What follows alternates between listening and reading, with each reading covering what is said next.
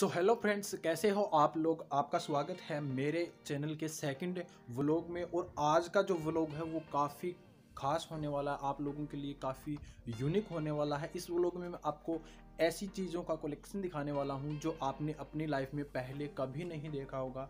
और ये जो कलेक्शन है, ये है माचिस का और जो पुराने सिक्के और नोट थे इनका। तो इस कलेक्शन में आपको दुनिया की जो पहली माचिस थी, उससे लेकर अभी जो माचिस चल रही है, वो माचिस मिल जाएगी। और ये जो माचिस कलेक्ट करते हैं, इनका नाम है एस एस अग्रवाल, यानी श्याम सुंदर अग्रवाल। और इनको दुनिया का माचिस मैन भी कहा जाता है। तो आज हम उन्हीं के पास जाने वाले हैं, उनकी यूनिक माचिस का कलेक्शन देखने के लिए। और बताया जाता है कि उनके पास दो लाख से भी ज़्यादा माचिसों का कलेक्शन है। उनके पास लगभग दुनिया की जो माचिसें हैं, वो हैं। सारी माचिसें आपको वहाँ पे देखने को मिल जाएँगी। अगर आप वहाँ के अपने नाम की माचिस सर्च करते हैं तो वो भी आपको मिल जाएगी। तो चलिए, हम चलते हैं श्याम सुंदर जी के घर तक। और तब तक आप वीडियो को लाइक और चैनल को सब्सक्राइब कर दें। और दोस्तों, इनका जो एड्रेस है, वो भी मैं डिस्क्रिप्शन में डाल दूँगा और यहाँ की लोकेशन है, वो भी पिन कर दूँगा तो आप लोकेशन पे यहाँ पे आ सकते हो और फ्री में देख सकते हो। तो दोस्तों, अभी हम आ चुके हैं श्याम सुंदर जी अग्रवाल के घर पे उनका कलेक्शन देखने के लिए और उन्होंने अभी तक इतनी माचिसें कलेक्ट की हैं। जब से माचिस स्टार्ट हुई है, जब से पहली माचिस बनी है, सब, तब से लेके आज तक की माचिस उन्होंने कलेक्ट कर रखी हैं और माचिसों के अलावा भी इन्होंने काफ़ी सारे सिक्के, नोट, काफ़ी सारी करेंसी भी इन्होंने कलेक्ट कर रखी है।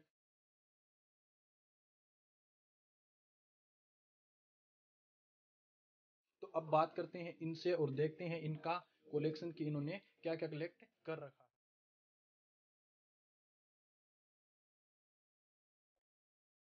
तो सर, आप पहले तो मुझे ये बताइए कि आपको ये आइडिया कहाँ से है कि हमें ये चीज़ कलेक्ट करनी चाहिए? तो स्कूल में पढ़... सबसे पहले आपको किस चीज़ को कलेक्ट करने का वो आइडिया आया था? जब से मैं स्कूल जाता था तो पढ़ाई करके फिर माचिस के ले आते थे हाँ और उससे ताश खेलते थे सब मित्र लोग।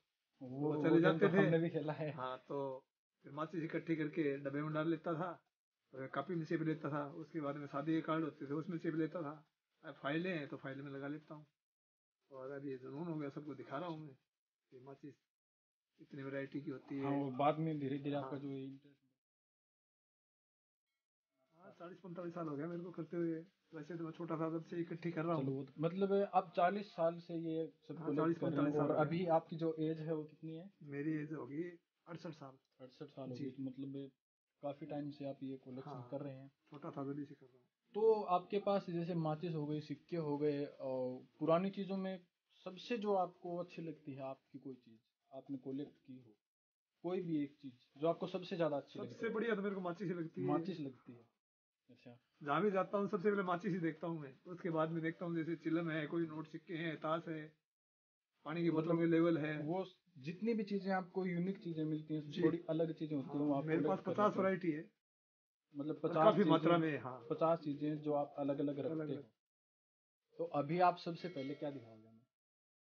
माचिस से स्टार्ट करते हैं क्योंकि आपका नाम ही माचिस मैन है तो माचिस से स्टार्ट होगा। तो अभी हम देखते हैं सबसे पहले इनका जो माचिस का कलेक्शन है सबसे छोटी माचिस है सबसे बड़ी माचिस। वर्ल्ड में सबसे ज़्यादा जो बड़ी माचिस है वो इन्हीं के पास है और सबसे छोटी भी आई थिंक इन्हीं के हाँ। पास होंगी। सबसे छोटी माचिस भी इनके पास है। तो अभी देखते हैं इनकी माचिस का जो कलेक्शन है वो।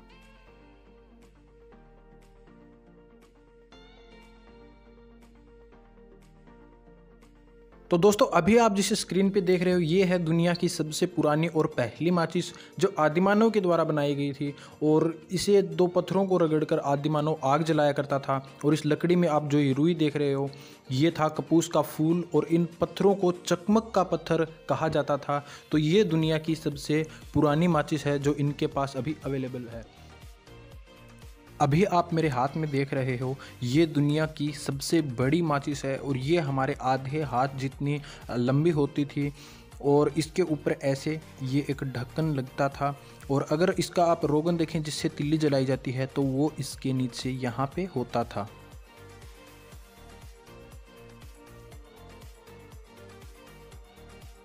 दोस्तों, आपने दुनिया की सबसे बड़ी और सबसे पुरानी माचिस तो देख ली। अभी हम आपको दुनिया की सबसे छोटी माचिस दिखाने वाले हैं और ये है दुनिया की सबसे छोटी माचिस। देखिए, इसकी साइज़ कितनी मेरी उंगली से भी काफ़ी छोटी है। और ये माचिस है, ये माचिस है पजल माचिस माचिस जो हमें गेम खेलते हैं, जिसमें हम पजल सोल्व करते हैं। तो ये वो माचिस है, ये भी पजल में है।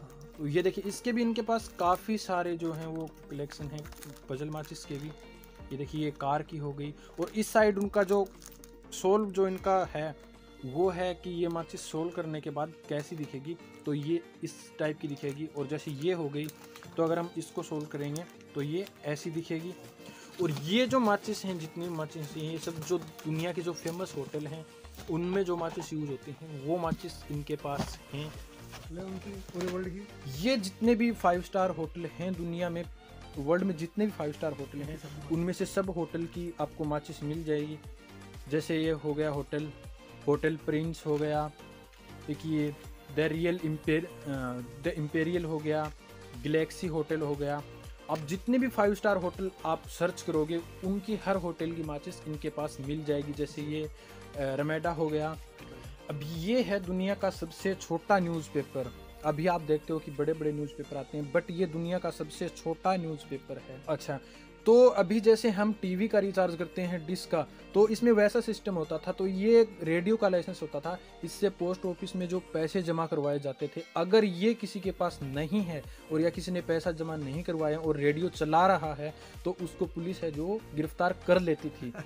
तो ये चीज़ आज मुझे पहली बार पता चली है कि रेडियो के लिए भी कभी पेमेंट करनी पड़ती थी। जैसे हम आज टीवी के लिए रिचार्ज करवाते हैं, वैसे। मैं तो हमेशा से यही सोचता था, रियल में कि रेडियो पे कोई चार्ज नहीं लगता होगा। दोस्तों, अब ये पेंसिल देखिए। मैं शर्त लगाता हूँ कि पहले आपने ऐसी पेंसिल नहीं देखी होगी। अगर इस पेंसिल का टुकड़ा बच जाता है और उसे आप मिट्टी में बो देते हो तो उससे एक गुलाब का पौधा निकलता है और एक गुलाब का पौधा उग जाता है। तो हमें कमेंट में ज़रूर बताएँ कि क्या आपने पहले ऐसी कोई पेंसिल देखी है? और दोस्तों, अभी आप जो मेरे हाथ में देख रहे हो, आप देखकर आइडिया भी नहीं लगा सकते कि ये क्या चीज़ है। तो मैं आपको बता दूँ कि ये भी एक माचिस है और ये खास मिलिट्री के लिए बनाई जाती है। जो फौजी होते हैं, उनके लिए बनाई जाती है। और इसकी खासियत ये है कि ये एयर प्रूफ है, आप इसे तेज़ आंधी में भी इससे कुछ भी जला सकते हो, आग जला सकते हो। और ये जो अभी आप मेरे हाथ में है, ये एक वाटर प्रूफ माचिस है। ये कितनी भी भीग जाए, बारिश में भीग जाए या फिर पानी में कहीं भी भीग जाए, फिर भी आप इसे यूज़ कर सकते हो। और दोस्तों, ये जो आप देख रहे हो, ये जिस दिन हमारा देश आज़ाद हुआ था, यानी 15 अगस्त उन्नीस सौ सैंतालीस तो ये उस दिन का अखबार है न्यूज़पेपर है, और ये ओरिजिनल है। इन्होंने शीशे में बंद करवा के इसे अपनी घर की दीवार पे लगा रखा है, अपने म्यूज़ियम में लगा रखा है। तो अभी जो आप देख रहे हो, ये है माचिस मूवी का ओरिजिनल पोस्टर तो ये भी काफ़ी यूनिक चीज़ है। और ये भी सामने माचिस हैं इन पे जितने भी मुगल राजा हुए, उन सब की फ़ोटो है, बारह की बारह। और दोस्तों ये इनको मिले हुए कुछ रिवार्ड हैं और इनके अलावा भी काफ़ी सारे आपको यहाँ पे देख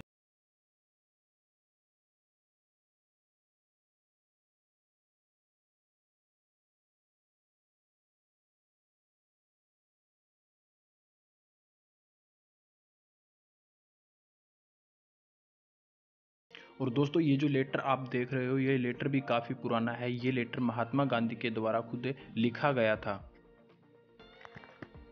तो दोस्तों, जैसा कि आपने देखा, इनके पास माचिसों का काफ़ी सारा कलेक्शन है और माचिस के अलावा भी इनके पास काफ़ी सारी यूनिक सी चीज़ें हैं। इनके पास लगभग एक हज़ार अलग अलग टाइप के जो लाइटर हैं, वो हैं और पाँच हज़ार इनके पास जो चिलम होती है मिट्टी की बनी हुई, वो इनके पास अलग अलग टाइप की हैं। अगर हम बात करें बोतल ओपनर की तो वो भी इनके पास काफ़ी सारे, वो भी लगभग एक हज़ार से ज़्यादा टाइप के इनके पास हैं। अलग अलग प्रकार के अलग अलग साइज़ के अलग अलग डिज़ाइन के। और बात की जाए सिक्कों की तो जब से पहला सिक्का बना है, तब से लेकर अभी तक के जो सिक्के चल रहे हैं, पचास का, सौ का, दो सौ का सिक्का, वो भी इनके पास हैं।